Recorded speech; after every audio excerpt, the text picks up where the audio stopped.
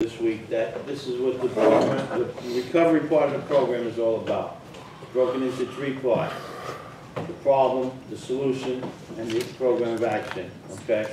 Um, and somebody was asking me about the, the word malady on page sixty-four that we went over. Um,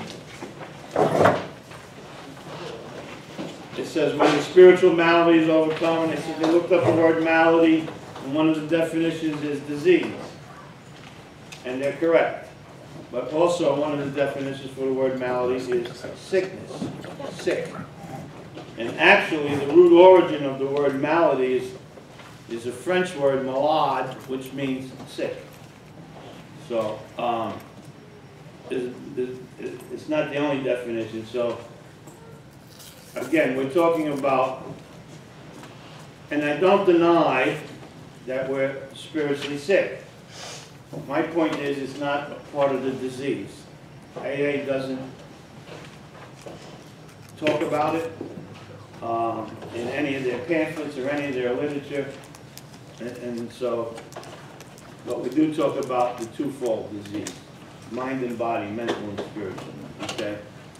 So, um, and, and my biggest thing is uh, with, with that is, because a lot of people believe it to be a threefold disease, but uh, my biggest thing is if, if, if I had a disease, if, if the God in me was so small that he could be sickened with a disease, then I have the wrong God in my life.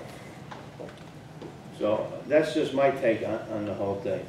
That my God can't get a disease or can't get sick or anything like that, so. Hi, guys. Sorry it took so long to get on there. All right. All right, and then the other thing, I forgot what somebody, the other thing was that somebody was asking. Oh, they were talking about, I, I mentioned at the beginning, the, the caveman getting sick, and they want to know what my point was. And, uh, you know, sometimes, and as the older I get, the more my mind wanders, you know. Uh, So I might start talking about something and get another thought, start talking about something else. So I don't know if I ever uh, expanded on that, but what, what- my point with that was that, and, and I think it's a, it- it's an important point, that alcoholics have never defined ourselves. Society and the rest of the world, since way back thousands of years, have defined an alcoholic, rather than us. You know, we're sick people, we're weak, um, uh, we need to be in, you know, locked up, or, you know, and there was some, there was some parts of time not long ago where they put us in a padded room, you know. Um, and they tried all kinds of things. So, but, but the point is that other people and society has defined who we are. And it wasn't until Bill Wilson and, and Dr. Bob got together and, and put this program together that two alcoholics def- defined who we are. And since then, millions of people have recovered. So I think that's pretty cool that, you know, once we start defining who we are ourselves, it makes more sense. I don't know if that makes sense to you. Okay. So anybody got any questions? Don't be afraid to ask a question. Uh, You know, as we're going along, uh, don't save it for like two days after this, we do this, and then nobody else knows but me and you. All right, hi guys, how? Okay. So Cabot, is that you, Cabot? Yeah. That's you on here? Okay. All right, so let's go. We didn't, we left off at foreword to the second edition.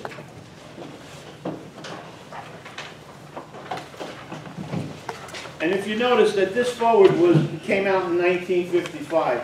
And if you just flip back a couple pages and you look at the, uh, foreword to the first edition, you'll see that came out in 1939. And if you shoot forward to the third edition, you'll see it came out in 1976, I believe. And so, in, in 1955, it says that uh, we're 100 men and women who have recovered from a seemingly hopeless state of mind and body. And in 1955, the interesting thing says in, in 1955 is that um, uh, 16 years, second paragraph, 16 years uh, have elapsed between our first printing of this book and the presentation, and the presentation 1955 of our second edition. In that brief span, Alcoholics Anonymous has mushroomed into nearly 6,000 groups whose membership is far above 150,000 recovered alcoholics. So in 1939, we had 100 men and women, and in 1955, we have 150,000, over 150,000. And in 1976, um, we had, uh, it says estimated more than a million, and I'm not even sure, I don't think I've ever even looked at the fourth edition. Fourth edition, it says, uh, two million. So, and, uh, but, so uh, you can see, hundred men and women, hundred and fifty thousand men and women, um, over a million, over two million. That tells you that this program works, doesn't it? That there's something here that's happening that works. And you can't deny that because the, the facts are right here. And from, from how much it has grown. Okay, so that's an important point. And then on the first page of the uh, second edition, it just talks about, you know, how they're all over the world now and goes on and on. And, uh, and then there's a lot of stuff in the second edition, uh, foreword to the second edition, that refers to the traditions, okay? And we're not really gonna go over that stuff because like I said, we're gonna stick with the recovery part of the program. Um, and, but here, here's something interesting. If you go over to, um,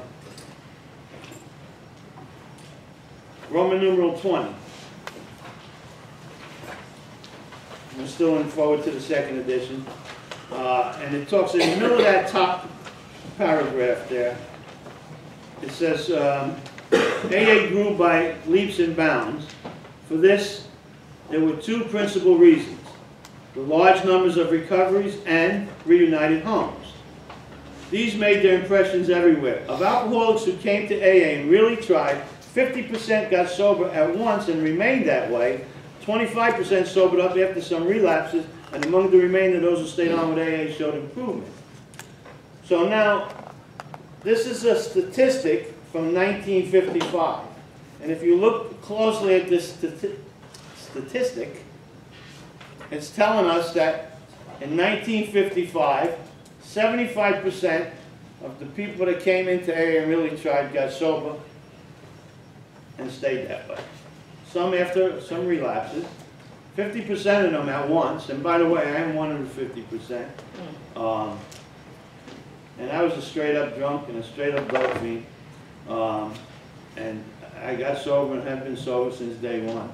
So I know that, that, that this really works. But the book is saying that 50% and then 25 after some relapse. So 75% of the people who came into AA in, in those days got sober and stayed sober. That was 1955. Do you know what the national statistic is today, in 2020? I don't know what the, I might tell you last week, so when I start talking about numbers, sometimes I start bullshitting. I don't know what the number is in 2020. In fact, the last time I knew what the number was, it was probably about 2010. Uh, but but there's there's things that you can look up and find. Back in 2010, it was 15% nationwide.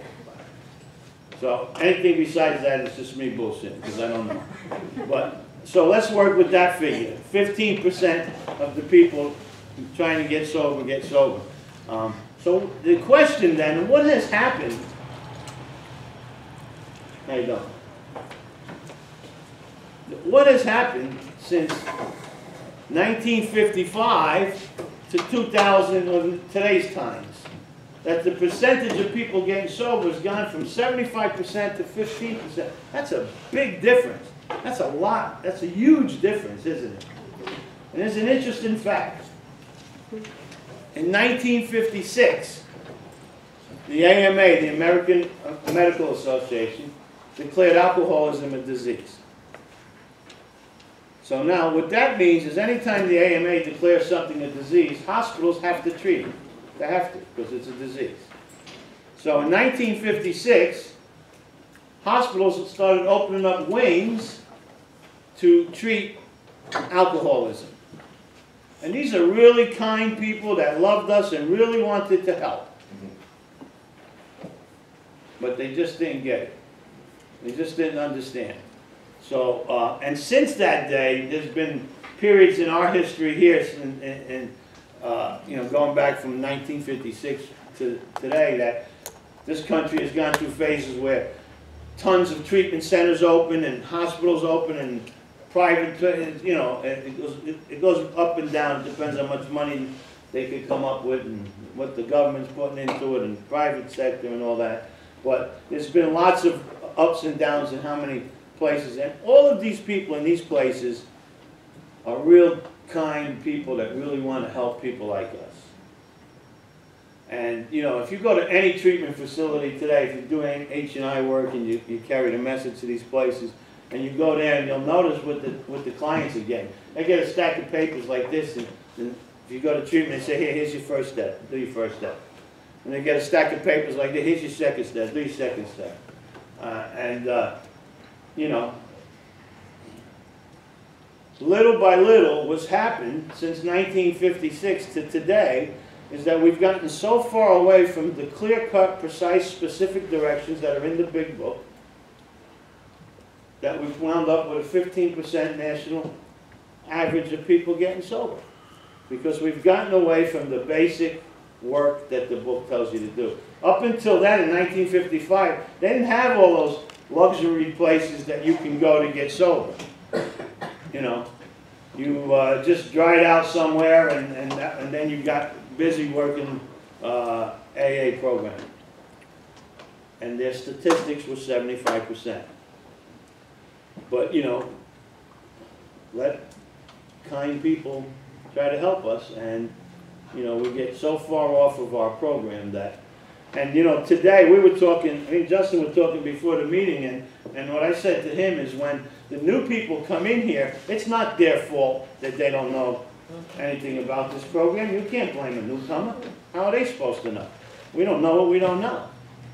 It's our fault that we're not teaching them what this book is about and getting them uh, to understand the disease kind, of, getting them to understand what this is about. What is the problem?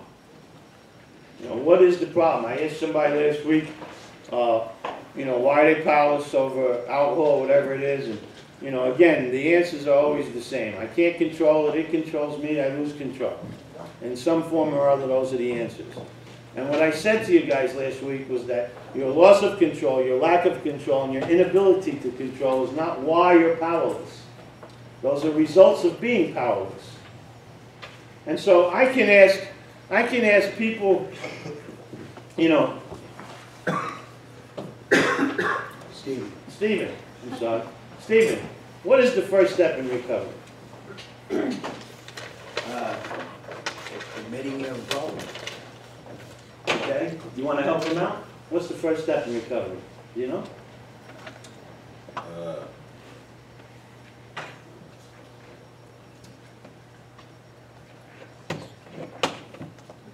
He's whispering to you. You want to know what is it? Oh, that, that our lives have become unmanageable? Our lives have become unmanageable. That's the first step in recovery?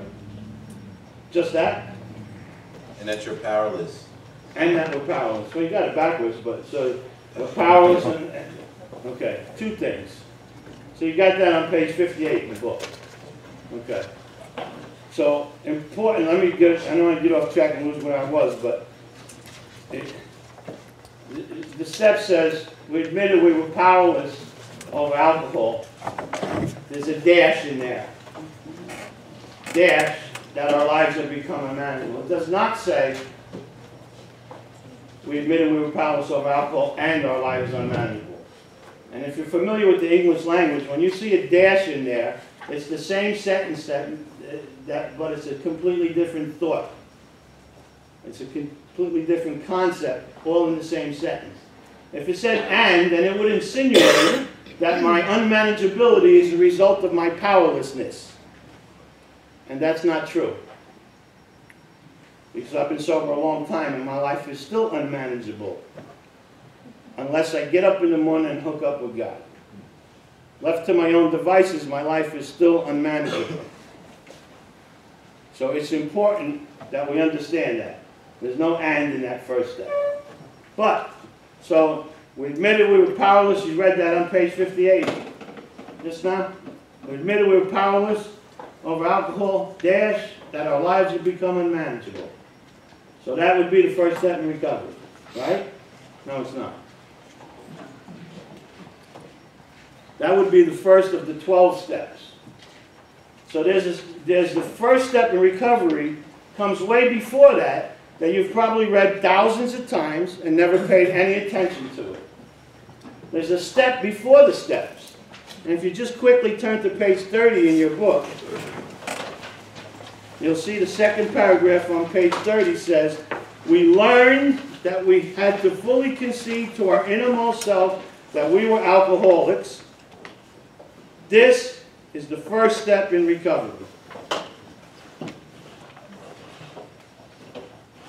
We learned that we had to fully concede to our innermost selves that we were alcoholics. This is the first step in recovery. So here's the problem that we face today in Alcoholics Anonymous and all the other 12-step programs. Somebody gets, tries to get sober, they come into the rooms and they ask somebody to sponsor them and the sponsor says to them, are you powerless over alcohol? And they go, yeah. Is your life unmanageable? Oh, yeah.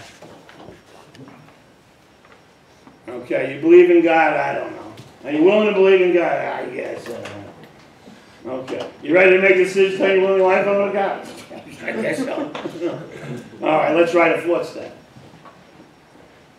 And they've done absolutely nothing about what the problem is. They've done absolutely nothing about what the solution is. And they've gone, they've skipped all that and gone right to the program of action. So they, they, that is a huge problem. And that is the fault of the sponsor. Again, it's not the newcomer's fault. It can't be the newcomer's fault. Now, this is important what I'm going to say to you. On page 58, the first of the 12 steps, we admitted we were powerless over alcohol. Dash, that our lives have become unmanageable. Probably 95%, here I am go making up numbers again. I can't help myself when it comes to that shit. I don't have a real figure. I don't know. I'm going to say 90%. I'm sticking with that. That's my, my answer, and I'm sticking with it. Didn't you say 95? Yes, Now, yeah. I- It probably is 95. Might even be more. My point is, my point is, yeah, I, I, guess uh, it's a bad habit. My point is this, is so many people come in the rooms of recovery, and all of they, all that they do is they acknowledge that, what it says on page fifty-eight.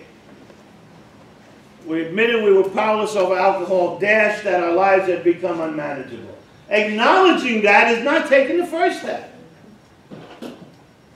They've already 20-something pages, or 28 pages past the thing that tells you what you have to do before you get there. We learned that we had to fully concede to our innermost self that we were alcoholic. This is the first step in recovery. Now, uh, let's look at that sentence for a minute. We learned means we didn't know. So we had to come in here, we have to learn it, right? We had to learn what?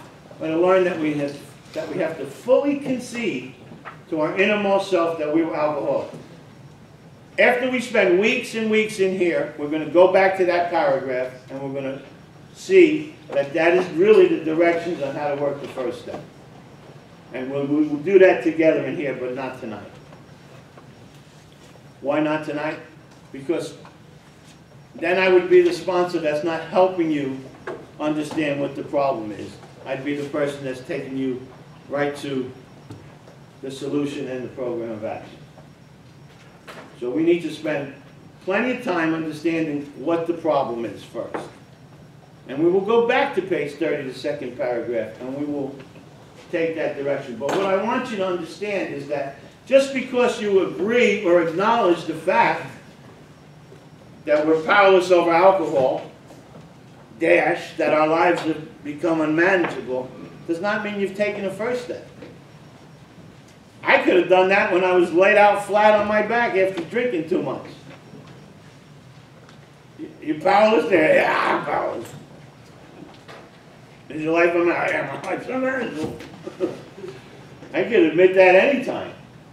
So it, it, what they're asking us on page 58 is to be able to admit it at a depth and level that it really means something. At a depth and level that I really understand it. And that's where we got to get to. Now, you can't do it when you first come in because you don't know anything. It's like I, I jokingly shared last week about the guy that comes in and got his job back, his, his partner let them back in the house, and, you know, his program's great, next week he's gonna have thirty days. You don't have to understand this program. He has no understanding about this program. Uh, So, and, and that's what it is here.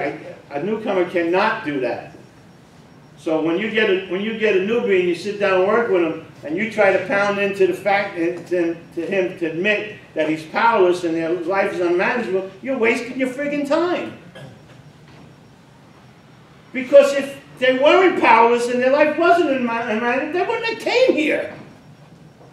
Nobody gets up in the morning and says, my life is great, I'm gonna join AA. It doesn't happen, right? It makes no sense. Why would somebody come here if everything was great? There's no great secret. When somebody walks in the door, guess what? We know their life is shit. They may not know it yet. Sometimes the judge sends them, or the old lady, or the old man sends, somebody else sends them, and they want to get the heat off of them, and they come. But most people deep down know their life's a mess. So, so it's our job to help them understand what the problem is. Okay? And that takes a little bit of time, and it takes going through all the work. So we don't take a newcomer and sit them down and make them tell us that they're powerless and their life is unmanageable. It's a waste of time. Does that make any sense to you? Because they don't understand why they're powerless.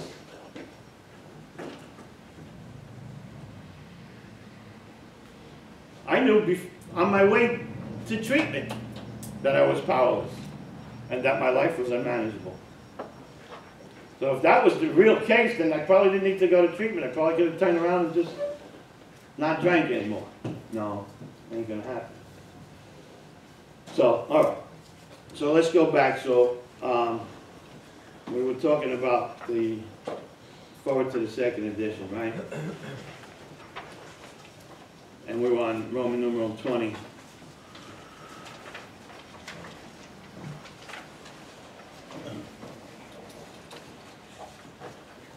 Danny, you got the third edition.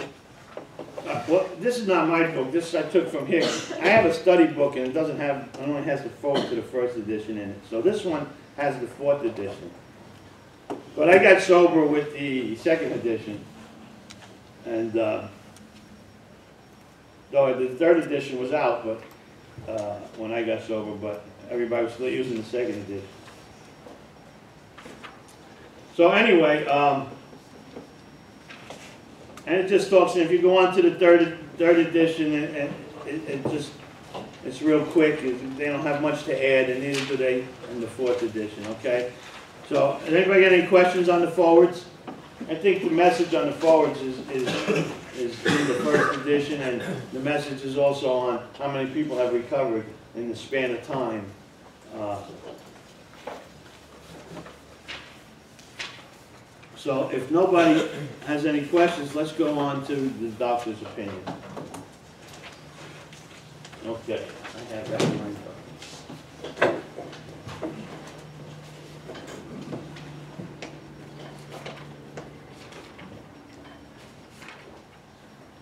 So as we read the doctor's opinion, I want you to pay attention to, to the wording that the doctor uses.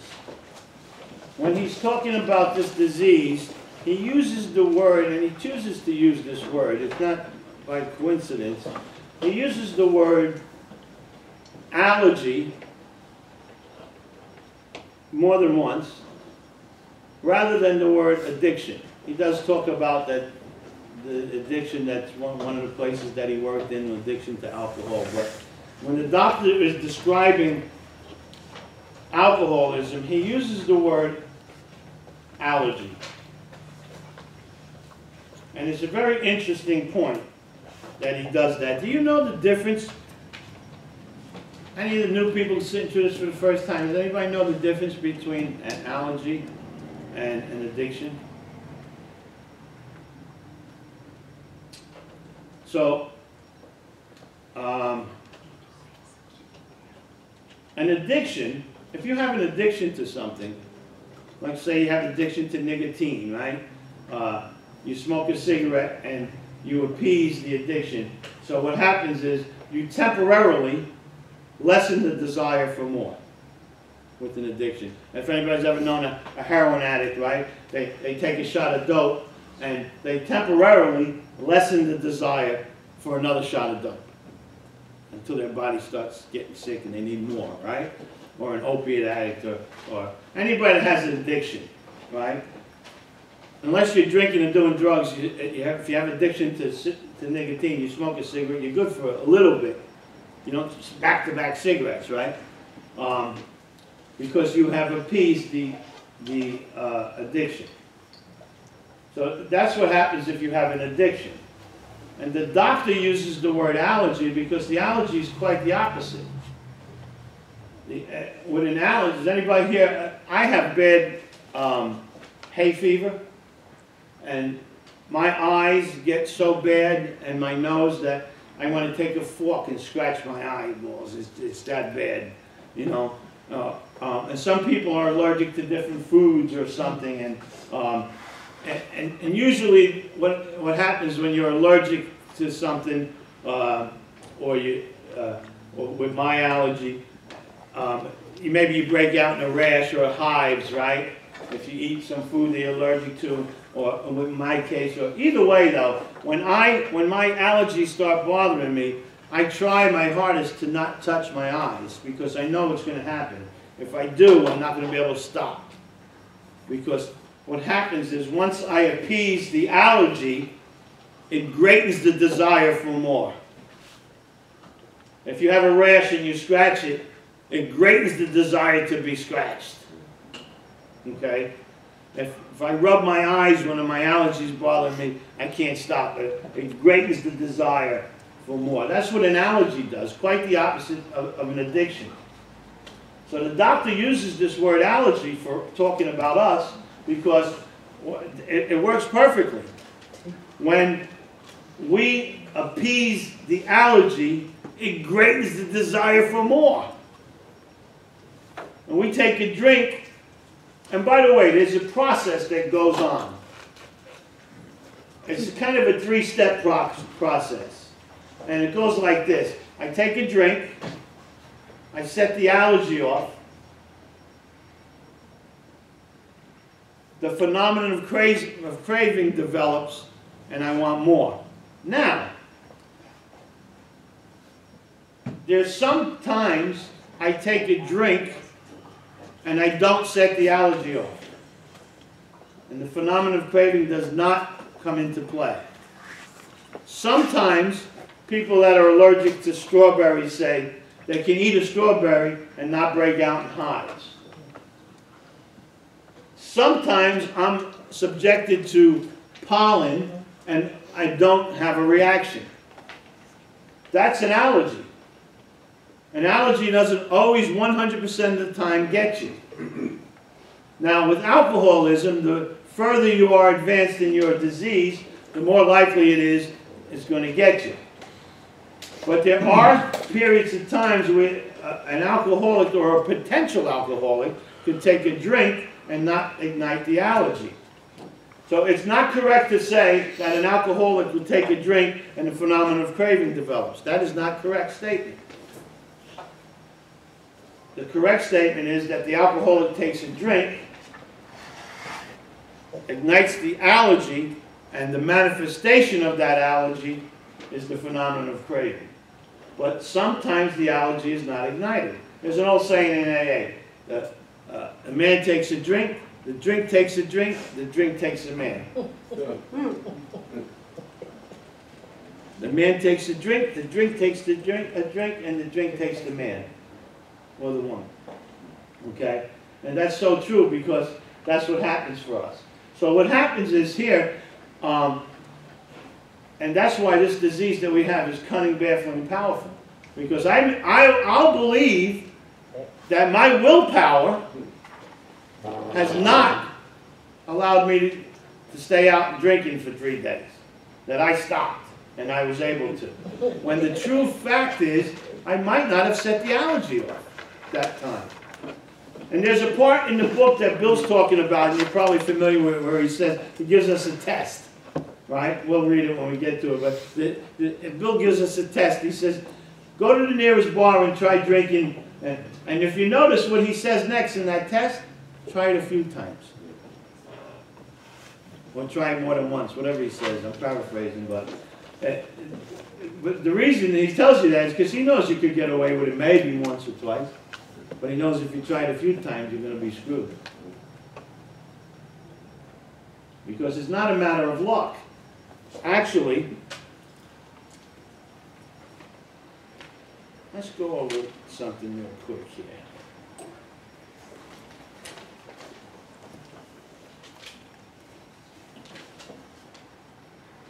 Go to the bottom of page, uh, Roman numeral 27, XXVII. Well, I don't know if that's the same in your book. I'm working it. That, um, let me see, let me tell you like this. One, two, three, four, the fifth page of the doctor's opinion.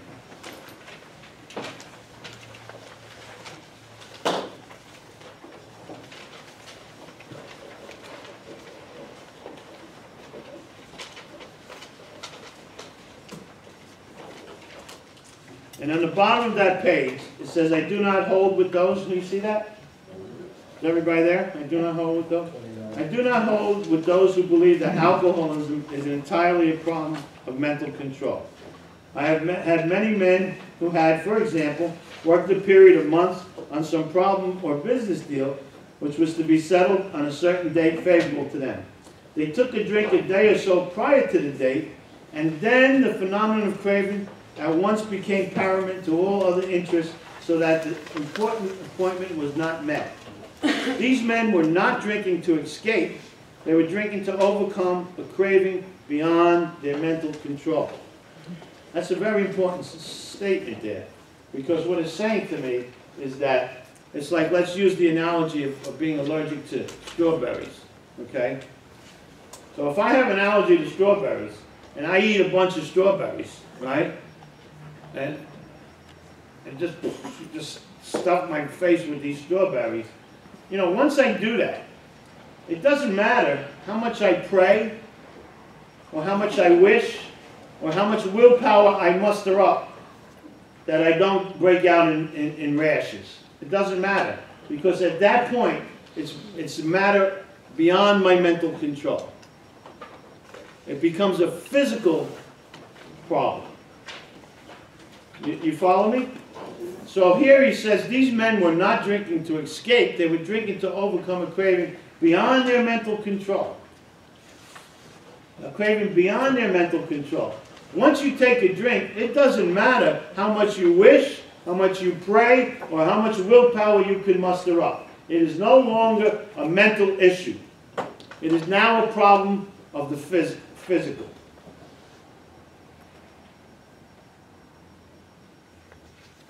You get that? These men, were not drinking to escape, they were drinking to overcome a craving beyond their mental control. That's what we're dealing with. And I'm sure you all have experienced that before in your own personal life. Why, you know, why, I mean, I don't know how many times I've, I'm driving, I'm on my way home, and I just thought, let me just stop for a minute here. I know they miss me in there. Let me just say hello, you know. And literally, three days later, I, I come, you know, dragging my ass out of there, put my head down, and I get home, and it's always the same crazy situation. Me walking in the house, broke, busted, and disgusted, and six years or so, right? And that's the way it is, time after time. And- I don't know what happens, but there's something about that doesn't allow me to think, uh, to think correctly. Well, once I start, you know, these men, and, and if you look at the next paragraph after that, these men were not drinking to overcome, that, uh, to escape, they were drinking to overcome a craving beyond the, look what it says next. There are many situations which arise out of the phenomenon of craving which cause men to make the supreme sacrifice rather than continue to fight. The supreme sacrifice. If you don't understand what that means, that means kill themselves. That's suicide. Not some people. There's been thousands, maybe tens of thousands, maybe hundreds of thousands of people over the years that have taken the supreme sacrifice rather than continue to fight. That's what we're dealing with. That's the kind of disease that we're dealing with. Okay, so, um, all right, so we're back at the doctor's opinion. And let's go to the second page of the doctor's opinion. And I tell you last week, every time we come across something in the book, you should make a little note or a little something that talks about the mind and the body, the mental and the physical. And you're gonna be amazed by the time you're done with this book, how many times it talks about mind and body, mental and physical. There's over 100, 150, something like that. Uh, The physician, who at our request gave us this letter, has been kind enough to enlarge upon his views in another statement which follows. In this statement, he confirms what we who have suffered alcoholic torture must believe, that the body of the alcoholic is quite as abnormal as his mind. And this here is way ahead of its time. This is in the mid-1930s that the doctor's making this statement. And I shared with you last week that, um, you know, uh, in here when they talk about uh, it's a progressive disease, it always gets worse, never gets better, right? That the, these, that statement and this statement here, you got to understand how powerful a statement this is. That they stamped their name on this statement, and it wasn't until 1976 that this stuff was medically proven. And I'll tell you that story when we get to it in, uh, a little bit in the book. But in 1976, this was medically proven, what they're talking about right here. That they talked about in 1936 and 37 and put in print in 1939. It's amazing. That the body of the alcoholic is quite as abnormal as his mind.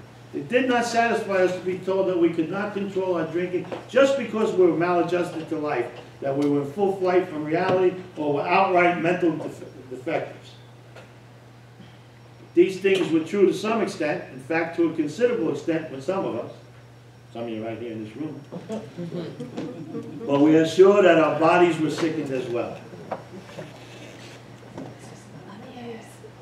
So he says the doctor's theory that we have an allergy to alcohol interests us. As laymen, our opinion to his soundness may, of course, mean little, but as ex-problem drinkers, we can say that his explanation makes good sense. It explains many things for which we cannot otherwise account. So once they understood what it was to have an allergy, you know, and, and this allergy is not like any other allergy in the world. Because this allergy is twofold. My first wife was allergic to shellfish. And us Italians on Christmas Eve, as many of you know, many of you have been to my house, and if you haven't, you're all welcome next Christmas. We always do it, use, it's called the Italian people, we have a feast of the seven seas, and it's a shellfish and all kinds of fish feast every Christmas Eve. So my first wife was allergic to shellfish. But every Christmas Eve, she couldn't help herself. She would be eating scungilli and, and all kinds of stuff, all shellfish, you know. And the next day, Christmas Day every year, her lips would be all, she'd be like a puffer fish. You know, and everybody in the family would make fun of her. But she didn't care because she, she knew it was going to happen. She didn't care. Once a year, she'd be like that. It must be pretty hot sitting there with all that delicious food in front of you, you can't eat that. So, but my point is, the difference between our allergy and the allergy she had or anybody else has is ours is twofold. Because all year long, she wouldn't eat shellfish as much as she loved it. She didn't have a mind telling her, no, you can eat a little bit. Just have a clam or two. Just eat a little bit, have a half a lobster. You know what I mean? Didn't have that struggle. And neither do people that have allergies of chocolate or strawberry or something else, whatever they have. They don't have their mind convincing them they could do what they already know damn well that they can't do. That's the dangerous part of alcoholism. We have a mind that tells me I could do what I already swore I I'm never going to do again. With every fiber of my being, I don't want to do.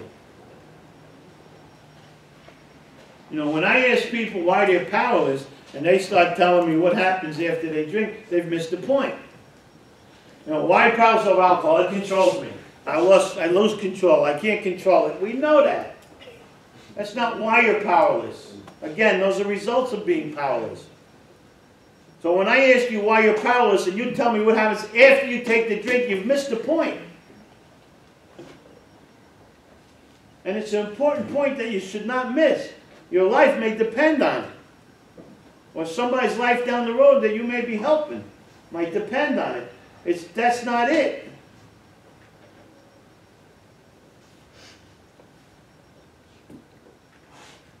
And I'm not going to tell you why you're powerless, because those of you doing this for the first time, you'll, you'll learn it in here. And that's what the newcomer needs. He needs to learn why he's powerless. But what the point is, my point is that it, if you start telling me what happens after you drink, you've completely off track. I want to know why. When two days ago you looked in the mirror and you swore with every fiber of your being that you were never going to do it again, and you swore to God, and you prayed for help, and you looked at yourself in the mirror and you said, I swear I'm never going to do this again. And a day later you're doing it again. When you do what you swear you're never going to do, when you do what you don't want to do with every fiber of your being, damn it, that's powerless. And why? Why? That's what we need to get them to understand. Not what happens after I drink. That's a powerless on a whole different level. We could all agree with that. All bets are off. You know, the old AA joke is, uh, uh, uh, I'm allergic to alcohol. When I drink it, I break out in spots. Miami, Vegas, St. Louis, wherever, who knows, you know. We all can agree, everybody in this room right now can agree to one thing, that once we start drinking, all bets are off, we don't know what's gonna happen. And for those of you that, other than alcohol is your thing, it doesn't matter. It doesn't matter what drug of no choice you, you, you use. The end result, the end result of drinking and using is we wind up alone and hurting we don't want to do it no more. And yet we go on, some of us for years, some of us for the rest of our lives, in a miserable existence, miserable existence, proving every day how powerless I am, proving every day the unmanageability in my life.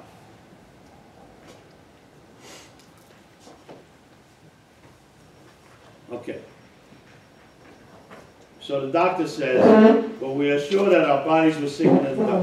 In, in our belief, any picture of the alcoholic which leaves out this physical factor is incomplete. So Dr. Dr. Silkworth made it, he stepped way out here.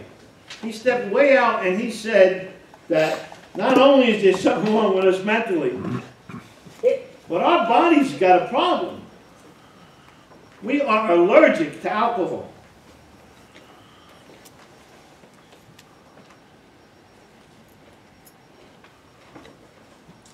Okay? Then at the bottom of the page, so we work on our solution on the spiritual as well as the altruistic plane. Does anybody, raise your hand if you do not know what the word altruistic means. Okay, you're allowed to go outside of AA and use a non-approved book called Webster's Dictionary. And anytime you come to a word in the big book that you don't know what it means, spend the five minutes to look it up. Google it. There you go, Google it. I'm a dinosaur, GTS. but, What's a dictionary? what's a dictionary? Webster. Webster's. Who's Webster, right? Where is he? Oh, God, I've been doing this for too long. We didn't have Google when I started doing this. Um, But seriously, spend a few minutes and look up words. I actually know a gentleman that learned how to read by studying the Big Book of Alcoholics Anonymous. I used to have, Kelly, if you remember, I used to have a set of uh, tapes, that, the Big Book and the 12 and 12, and I used to give them to people, and all it was was somebody reading every word in the book, because some people couldn't read, or they couldn't read very well, so the book would be read to them, and it was on tape. They still have those tapes available, they're probably now on a CD or something. I had a big old box of tapes that they were in. I used to give them to people that had problem reading. They'd sit there and they'd let the tape read to them, the big book, and the 12 and 12. And, and so you'll, not only will you learn about what's the matter with you and, and how you can change your life, but you, you might learn a few things other than that. Okay, so, um, so altruistic. I'm gonna ask you guys, I hope I remember next week, I'm gonna ask you guys what that means. If that word is used twice, in the, in the next few pages, it's used again. And you can look up the word altruism, that's where it comes from, okay? And, uh, next week you'll tell me what that means. Okay.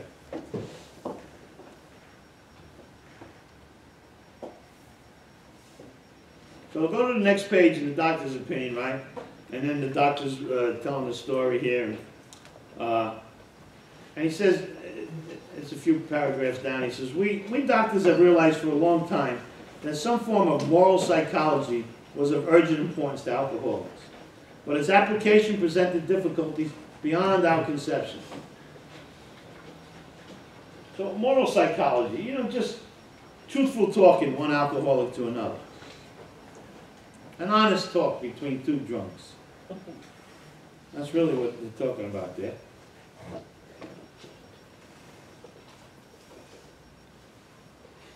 And look what he says here.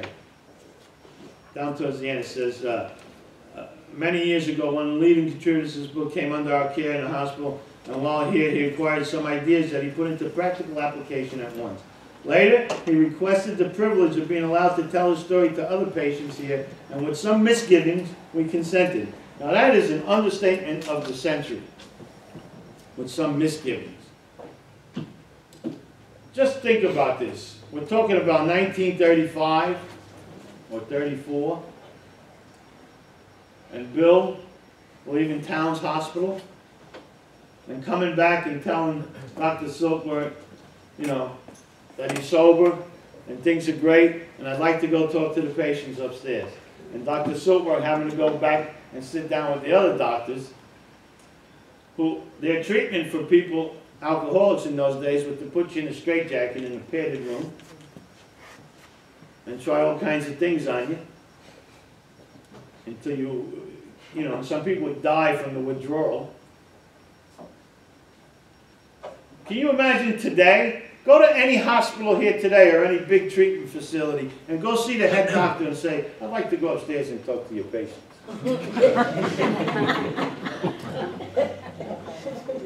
Now, they do that, they do that, they allow that today in H and I, hospital institution committees, they allow the people to come in and do that. But, of course, there were none then.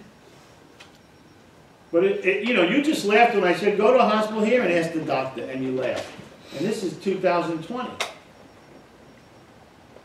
So he said, with some misgivings, we let him go up and talk to, to the people. He had to put up some fight, I bet you, in, the- in the, in the meeting with the other doctors to have a patient come back and go up and talk to the patients. I, I would have liked to have heard that story. So, then he says, the unselfishness of these men as we've come to know, them, the entire absence of profit motive and their community spirit is indeed inspiring to one who's labored long and wearily in alcoholic field. And those of you that are gonna look up the word uh, altruism, you, we've, we've just given you the definition of it, but look it up anyway. They believe in themselves and still more in the power which pulls chronic alcoholics back from the gates of death. And then he talks about maybe going to the hospital and getting detoxing or something first. And he says, we believe, and so suggested a few years ago, that the action of alcohol on these chronic alcoholics is a manifestation of an allergy. That the phenomenon of craving is limited to this class and never occurs in the average temperate drinker. Now, what he's saying here is very important. The action of alcohol on these chronic alcoholics is the manifestation of an allergy. So what he's telling you here is that the allergy is a, the, the manifestation of this allergy is a physical reaction. It's a physical reaction. And that's important because we say things that ain't right all the time. You get a, you get a, a newcomer, maybe 30, 45 days, 60 days, and you're talking to him and how you feeling? I'm, I'm craving a drink real bad. No, you're not. You're not craving a drink real bad. No, yeah, I am. No, you're obsessing on a drink real bad. I don't give a shit what you call it, I want a drink, right? That's, you know, they don't want to care about the particulars, but again, it's your job to teach them. So somebody with 40 days, 30 days, 3 weeks, 60 days is not craving a drink. Because the craving is a physical reaction. It's the manifestation of an allergy. It's the, it's the way, that manifestation is a big word, it just means that's the way it works itself out. Okay? So, the, the, if you're allergic to strawberries and you eat strawberries, or you're like my first wife and you eat the shellfish, the manifestation that's going to get all puffy lips, you're like a blowfish, right? That's the way it works itself out for her. So the manifestation of the is a physical reaction. Now, again, the newcomer may say, I don't give a shit what you call it, I want to drink real bad. But you know why it's important that you teach them that? Because one is of the mind and one is of the body. Remember we talked about the people that were not drinking to escape, they were drinking to overcome a craving beyond their mental control. That's the body. That's the physical. When I say, when a newcomer or somebody says, I'm craving a drink real bad, no, you're not. You got to let them understand that's, that situation is of the mind. It is not a physical thing going on. Now, it may be powerful. I'm not minimizing how powerful, uh, you know, an obsession can be. It can be really powerful. But nevertheless, you have the ability to change your mind. You do it 30 times a day. I'm going to wear these pants, and I'm going to wear that pants. I'm going to go here for lunch, and I'm going to go there for lunch. I'm going to do this, and I'm going to do that. Granted, changing your mind when it comes to a drink or a drug is not as easy because we really want what we want, don't we? But it's the same concept. It's just a matter of changing your mind. You actually have the power to change your mind when it comes to a drink, just like you have the power to change your mind on what kind of pants you're going to wear today. No different, except for you obsess too much on drink. Oh, but the concept is the same. It's just a matter of changing your mind.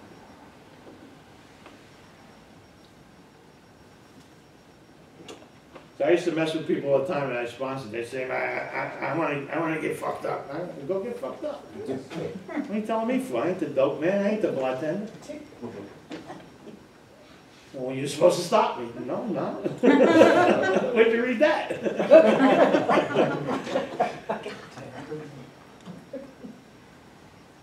well, what am I supposed to do? I'm here to help you when you tell me you need help because you don't want to do what you want to do. But if you're telling me that you don't, if you're not telling me you don't wanna do it, you're just telling me you wanna do it, then go ahead and do it. Because, you know, one thing that we have to understand is, and Alcoholics Anonymous is not anti-alcohol. And neither are we. We don't take up the flag and march against alcohol and all that. If you wanna drink, go right ahead.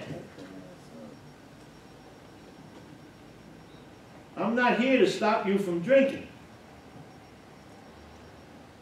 But if you ask me for help, that you don't wanna do what you wanna do, that's what I'm here for.